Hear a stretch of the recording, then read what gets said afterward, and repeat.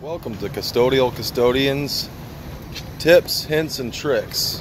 Now, today I'm going to be talking about that you need to get yourselves a pair of these. Now, the reason for that is that it's going to help you for your window cleaning. And you got to make sure that the sunglasses say polarized.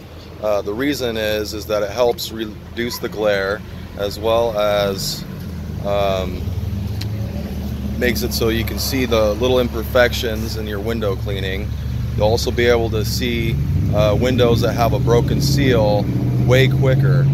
Uh, and you want to make sure uh, that it's not just UV protection because the polarized are the ones you want to get. Now, if you like this video and you'd like to see more, uh, put in the comments below what you'd like to hear and hit the subscribe button hit the bell so you can tune in again. Thank you.